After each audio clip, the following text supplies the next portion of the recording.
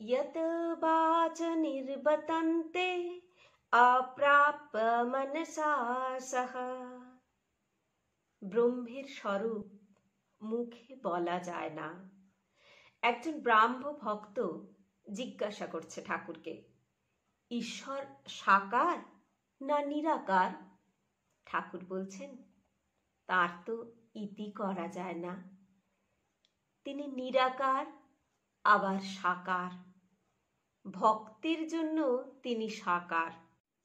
যারা জ্ঞানী, অর্থাৎ জগৎকে যাদের স্বপ্নবৎ বলে মনে হয়েছে, তাদের পক্ষে তিনি নিরাকার।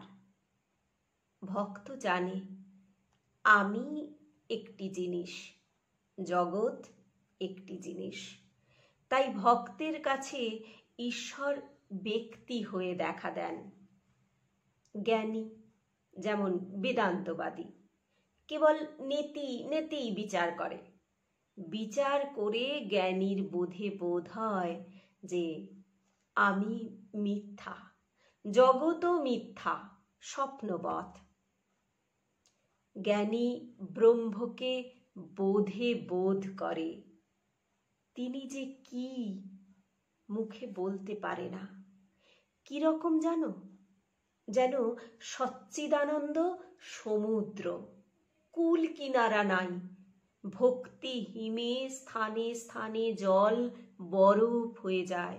বরফ আকারে জমাট বাঁধে।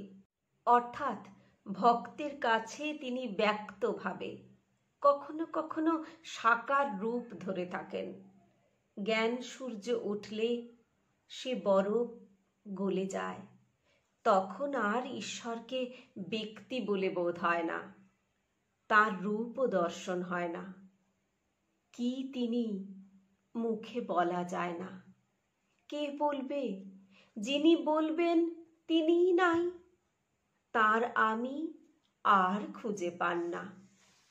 বিচার করতে করতে আমি টামি আর কিছুই থাকে না। পেঁয়াজের প্রথমে লাল খোসা তুমি ছাড়ালে, তারপর সাদা পুরু খোসা। এইরূপ বরাবর ছাড়াতে ছাড়াতে ভিতরে কিছু খুঁজে পাওয়া যায় না। যেখানে নিজের আমি খুঁজে পাওয়া যায় না, আর খুঁজবেই বা কে? সেখানে ব্রহ্মের স্বরূপ বোধে বোধ কিরূপ হয়, কে বলবে? একটা লুনের পুতুল ঠাকুর উপমা দিচ্ছেন। একটা লুনের পুতুল সমুদ্র মাপতে গেছিল সমুদ্রে যাই নেমেছে, অমনি গোলে মিশে গেল। তখন খবর কে দিবেক পূর্ণ জ্ঞানের লক্ষণ বলছেন ঠাকুর এবার। পূর্ণ জ্ঞান হলে মানুষ চুপ হয়ে যায়। তখন আমি রূপ লুনের পুতুল সচ্চিদানন্দ রূপ সাগরে গোলে এক হয়ে যায়, আর একটুও ভেদবুদ্ধি থাকে না। বিচার করা যতক্ষণ না শেষ হয়, লোকে ফড়ফড় করে তর্ক করে। শেষ হলে চুপ হয়ে যায়। কলসি পূর্ণ হলে কলসির জল আর পুকুরের জল এক হলে আর শব্দ থাকে না। যতক্ষণ না কলসি পূর্ণ হয়, ততক্ষণ শব্দ। আগেকার লোকে বলতো, জাহাজ কালা পানিতে গেলে আর ফেরে না। তারপর ঠাকুর বলছেন, আমি মোলে ঘুচিবে জঞ্জাল। বলে ঠাকুর নিজেই হাসছেন। হাজার বিচার করো, আমি যায় না। তোমার আমার পক্ষে ভক্ত আমি এই অভিমান ভালো। ভক্তের পক্ষে সগুণ ব্রহ্ম।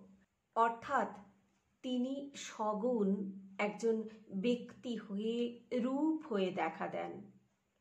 তিনি প্রার্থনা শুনেন, তোমরা যে প্রার্থনা করো, তাকেই করো। তোমরা বেদান্তবাদী নও, জ্ঞানী নও, তোমরা ভক্ত। সাকার রূপ মানো আর না মানো, এসে যায় না। ঈশ্বর একজন ব্যক্তি বলে বোধ থাকলেই হলো। যে ব্যক্তি প্রার্থনা শুনেন, সৃষ্টি স্থিতি প্রলয় করেন, যে ব্যক্তি অনন্ত শক্তি।